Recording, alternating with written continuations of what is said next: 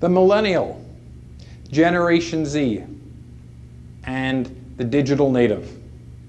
These terms are often used to describe individuals born in 1980 onwards, after the widespread adoption of digital technologies and the internet. The digital native has grown up immersed in a world of technology, relying on internet enabled devices for social, recreational, economic, and educational interactions. Already at the midpoint of the second decade of the 21st century, it has become critical to ensure that internet and instructional technologies are available to juveniles within the juvenile justice and alternative education settings.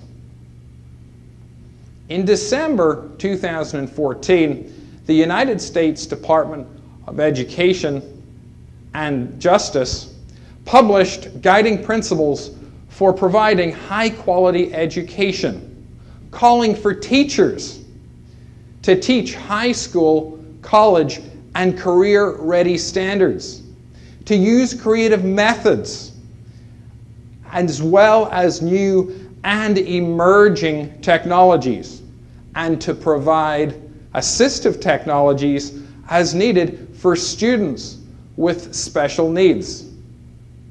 These guiding principles also warn of the risk of depriving internet access to students and teachers, leading to possible learning inequalities for youth in custody. The internet, or the information superhighway, connects users to vast and rich multimedia resources essential for high quality learning opportunities.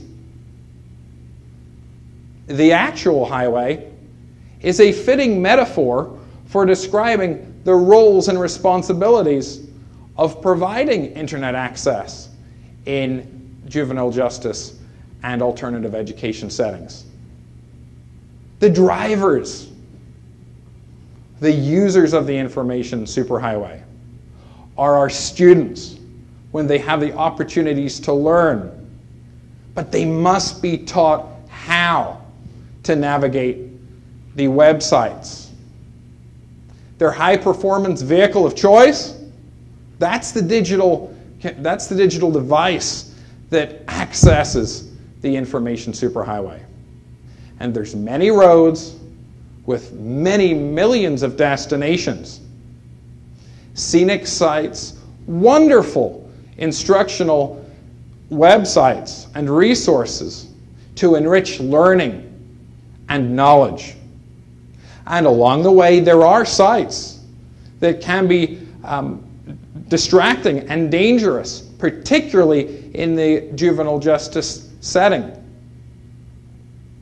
Then there's the highway patrol, staff who are physically and technologically present to watch and monitor for the user safety while students use the information superhighway. There's the highway maintenance crew. Their job is to support technology to ensure the smooth access of technology and internet usage for students and teachers, and who help to open websites for, eh, for learning. So, technology implement, implementation in the juvenile justice setting is, is heavily dependent on human beings being able to communicate and coordinate their, their endeavors. And it is essential to ensure that this happens. Then there is the road planner, the education or facility administration who must plan for the rollout of the information superhighway. Administration must consider budgeting factors, budgeting for new and the continuous maintenance of technology and the internet. And then there's the question of where to find high quality, cost effective technologies. Try searching the internet for freeware or open software for education. You'd be surprised what you'll find. You will find Open Office, a great productivity suite for students and teachers to use in the classroom. Google Apps for Education is a great web based tool that helps teachers to collaborate and record live attendance and academic needs for the students during the day. Technology support, partnering with local school districts, local businesses, colleges, and universities these, these are great resources for professional development and for equipment and support. There are also major concerns occasionally from staff about fears or attitudes, fears of internet breaches and using laptops or, or, or tablets as heavy projectiles, a possible threat to safety and security. But it's essential to promote internet and technologies for learning. And it's also important to identify staff to lead the technology charge within the facility. It's also essential to ensure professional development for all staff and teachers on how to use technologies. All of these are essential programming elements that will equip juveniles to be productive 21st century online and offline citizens. So, returning to our information superhighway metaphor, information comes fast at our students. And staff must set limits. Just like the real highway has speed limits, there must be limits for our learners and our, our, our internet users, such as setting classroom, classroom configuration, and the direct observation of screens and students to ensure students stay on task. There's also the, de the detection technology, such as classroom management software and internet web filters that will ensure the safety of, of users. Then there will be occasional violations. The access to digital contraband. But students must learn from, from this occasion and this and, and occasional violations must not shut down the information superhighway to all its learners, to all its users. In Oregon, a, a progressive state law was adopted providing usage guidelines and policies for internet access by juveniles at the Oregon Youth Authority custody facility facilities. This included the design of behavior management procedures. So, safety and security when it comes to delivering technologies and internet access is a high stakes issue, particularly within the field of juvenile justice education. So, getting it right is imperative.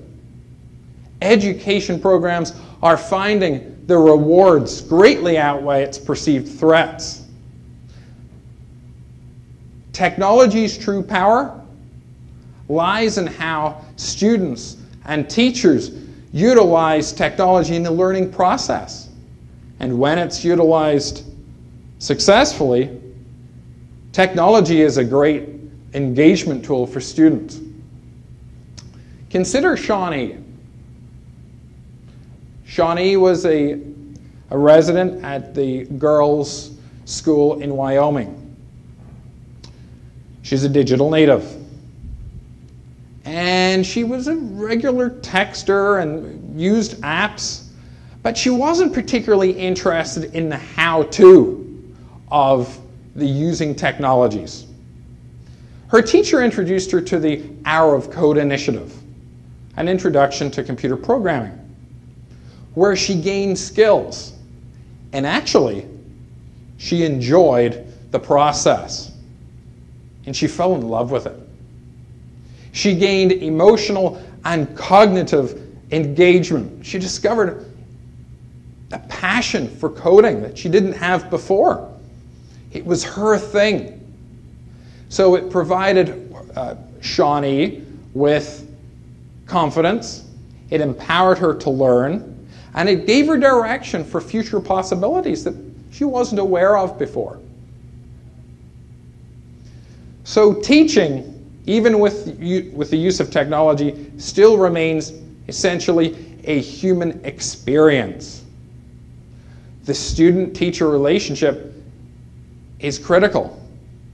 And teachers must continue to plan for the individual learning styles and needs of students in their classroom. Consider blended learning. Blended learning combines face to face traditional classroom methods, lecture, discussion, with computer based student activities. This allows students to become more involved in the learning process. They become more empowered, and it allows teachers to, to model um, what great digital instruction looks like in the classroom. Also, where there may be limited resources, one computer with one projector, Google Earth is great in this, in this setting, where the teacher might drive and the student navigates using Google Earth. As if by magic, an entire class can be teleported out of the facility, out of a locked, secure facility, and transferred to Paris, to various countries, to towns and cities, and even landmarks like Washington, D.C. and the White House. Technology is also a very versatile teaching method, particularly in the mixed ability, multi age classroom setting of juvenile justice and alternative education. Individualized instruction using online curriculum or massive online open courses such as Khan Academy or edX allows students to pursue credit recovery and credit continuation and allows students to work comfortably at their own pace. Great for credit recovery. Then we have augmented reality. Augmented reality is a fantastic way to engage youth in the classroom. Augmented reality overlays virtual images, models, on top of regular real world objects. So, for example, a student would see this page ordinarily in the real world. But with a device, on a, ca- a camera enabled device, they can shoot and, and take a, a, a picture of that device and bring it to life, allowing students to interact with a variety of different models, such as the human body or the Curiosity um, Mars rover. So, this is a very powerful and engaging way to hook learners. This is also very important in the secure setting because these models allow students to, to integrate and work with objects that might ordinarily pose safety and security risks within the secure setting. So there are also other exciting options, particularly emerging technologies such as game based learning. that scaffolds learning concepts into gameplay and then has the student demonstrating mastery when they level up or, or achieve um, the task at the end of a level. Bright, Bright Byte Labs research shows that students benefit both socially and academically from the immediate formative peer-to-peer, peer-to-peer feedback of online gaming. And then there is 3D printing, an affordable and more accessible technology than in previous years, previous times. And 3D printing and computer-aided design can be used to, to teach um, digital design and inspire careers in, in science, technology, engineering, and math. At Oregon Youth Authority, innovative instruction looks like driver simulators, students sitting in driver simulations, or students learning in a digital music studio. Also at Oregon Youth Authority, students are prepared for training and readiness for the A plus certification, technical certification. Lots of possibilities, lots of engaging possibilities. Also, if your facility or education program has not considered social media, this is a powerful way to communicate with stakeholders, community members, parents, other schools. It invites these stakeholder groups into the detention and alternative education classroom. It promotes and demonstrates a digitally inclusive culture. So, the current generation of internet and technology users has changed and evolved. In Gary King's book entitled iBrain, he describes how the pace of information and internet enabled devices has actually changed, radically changed, the development and function of the adolescent brain. Digital natives rely on information access. And that is a reality. And that is a reality that features more keystrokes and fewer pen strokes. Marc Prensky, a noted scholar, says that traditional teaching methods must change and be adapted to the new ways that digital natives are learning. And accordingly, teachers and, and facilities must plan accordingly for these digital learning needs. Prensky also notes that teachers' new role for the 21st century classroom is in partnering with students, coaching and guiding them in technology usage. The educator's role also remains the same because educators must ensure great questioning and providing context to learners in the classroom, as well as academic rigor and solid and varied student evaluation and assessment practices. Students must be given the opportunity to arrive at curriculum outcomes for their time in history.